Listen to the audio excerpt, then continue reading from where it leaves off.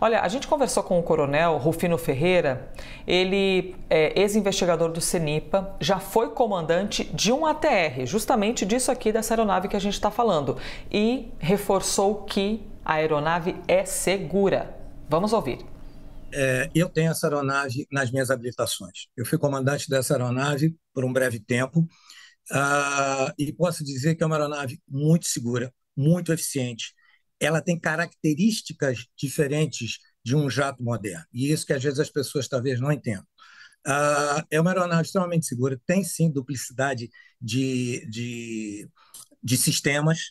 Outra coisa que é o mais importante, se você pegar, é, tive a oportunidade de fazer uh, na própria TR, fiz lá em Toulouse o curso dessa, dessa aeronave, é, ela, você tanto na posição de copiloto quanto na posição de piloto, nos simuladores, você treina todas as condições que você pode encontrar e o gelo é uma delas, o fogo, a, o fogo a bordo, fumaça na cabine, são situações muito difíceis e que todo piloto que senta hoje habilitado no ATR e, e aeronave é uma aeronave certificada em termos de produção e de, e de sistemas, ele tem condição de lidar com isso.